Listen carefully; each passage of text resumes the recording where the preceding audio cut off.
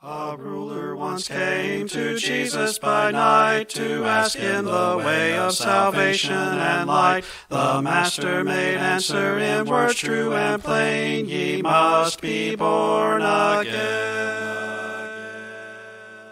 Good morning, and welcome to the Bible Study PAL podcast. I'm Greg Circle, the preacher for the Church of Christ that meets in Palmyra, Indiana. On today's episode, we continue our reading of the Gospel according to Mark.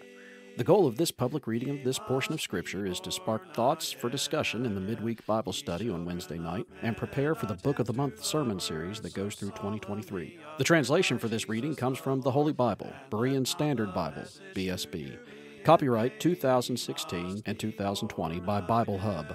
Used by permission, all rights reserved worldwide. Ye must be born again, again. Ye must be born again, again. I verily, verily say unto thee, ye must Let's get into the reading. A few days later, Jesus went back to Capernaum, and when the people heard that he was home, they gathered in such large numbers that there was no more room, not even outside the door, as Jesus spoke the word to them. Then a paralytic was brought to him, carried by four men.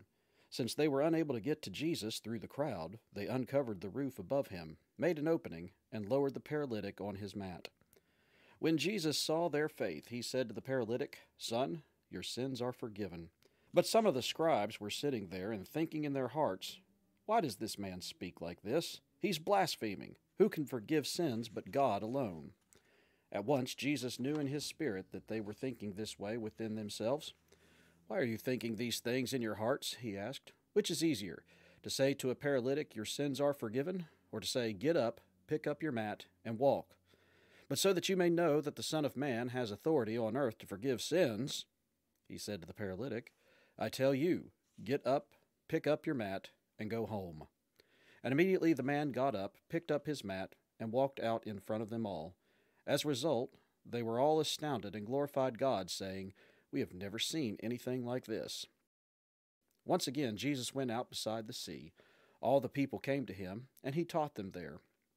As he was walking along, he saw Levi, son of Alphaeus, sitting at the tax booth. Follow me, he told him, and Levi got up and followed him. While Jesus was dining at Levi's house, many tax collectors and sinners were eating with him and his disciples, for there were many who followed him. When the scribes who were Pharisees saw Jesus eating with these people, they asked his disciples, Why does he eat with tax collectors and sinners? On hearing this, Jesus told them, It is not the healthy who need a doctor, but the sick. I have not come to call the righteous, but sinners. Now John's disciples and the Pharisees were often fasting. So people came to Jesus and asked, Why don't your disciples fast like John's disciples and those of the Pharisees? Jesus replied, How can the guests of the bridegroom fast while he is with them? As long as he is with them, they cannot fast.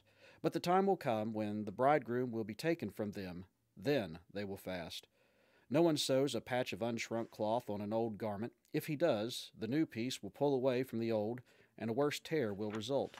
And no one pours new wine into old wineskins. If he does, the wine will burst the skins, and both the wine and the wineskins will be ruined. Instead, new wine is poured into new wineskins. One Sabbath, Jesus was passing through the grain fields, and his disciples began to pick the heads of the grain as they walked along. So the Pharisees said to him, Look, why are they doing what is unlawful on the Sabbath?